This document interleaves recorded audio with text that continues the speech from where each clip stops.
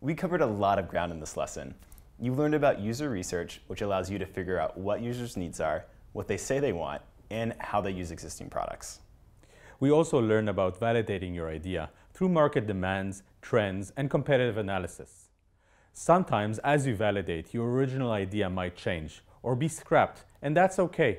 Like any good entrepreneur, you have to continue validating your hunches. Once you have a validated idea and something users want, you'll need to deliver a product to the end user. We'll cover how to think about your users and how to design great experiences for them in the next lesson.